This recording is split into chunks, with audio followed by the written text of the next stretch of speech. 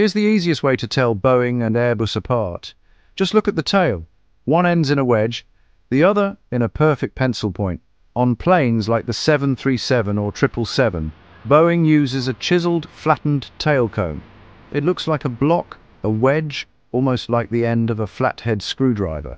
Airbus takes the opposite approach. The A320 and A330 use a clean, perfectly symmetrical cone, like a sharpened pencil.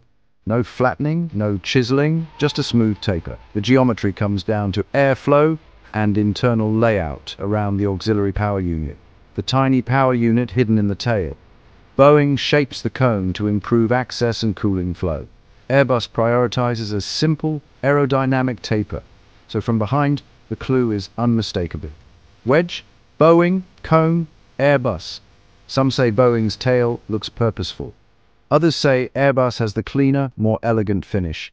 Two designs, one simple rule, and every plane spotter has a favorite.